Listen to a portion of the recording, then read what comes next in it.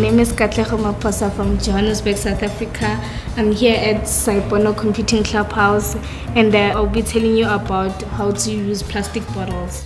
Plastic bottles are usually recycled, but if you don't want to take them to the recycling station, you can take them and reuse them for something fun and innovative.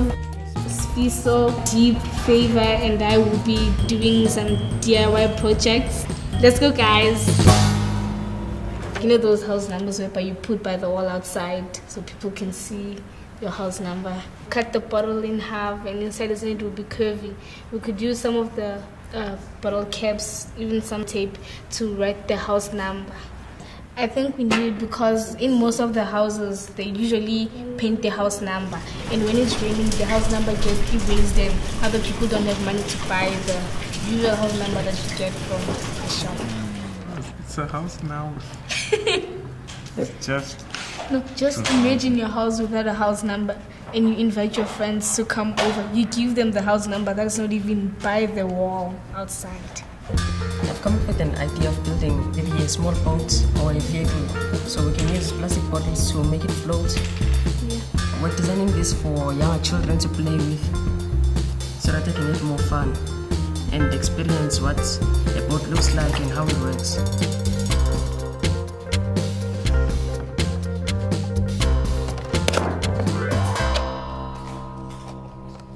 The part that we're making is this part where, there, where there's an exhaust fume to make a cylinder. Then we'll paste it to the boat right here at the back.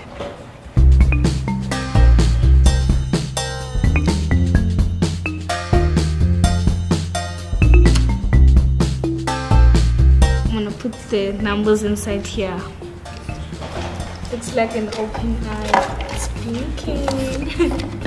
it's looking for you right now. Maybe it might be like this.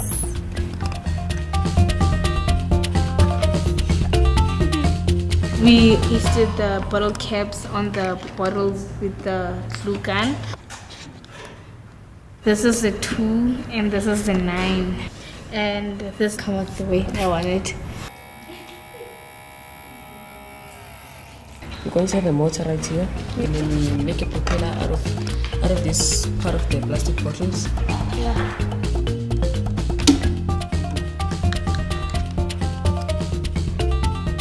This is our propeller.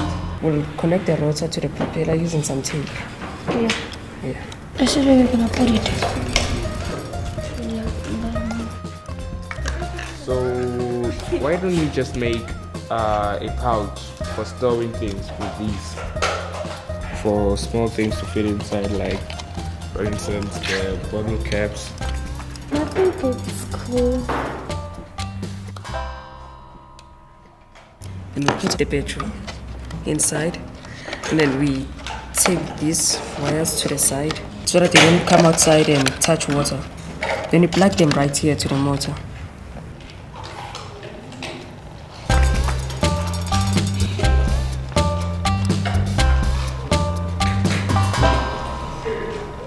Since we added the motor, you can see that the boat will just fall down because it's too heavy.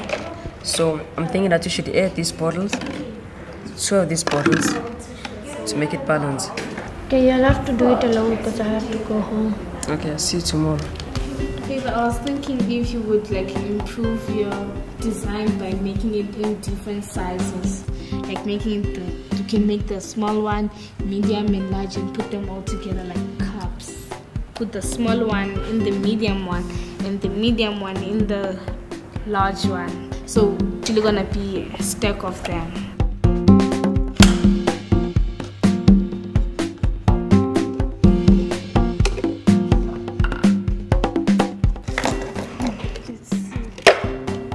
And they fit. I'm just gonna see if this can balance. Yes, and it works. This is the small bottle which has the bottle caps inside. Medium, it has the nails. And this is the large, it has uh, color pens. So this is what it looks like when it's empty. And you pick it away. all stacked together, they actually save space because most of the people don't have like too much storage for stuff like this. This is an innovative new idea that is that is contributing to the recycling part of things. Yeah. So I'm just gonna plug the motor to see if it works.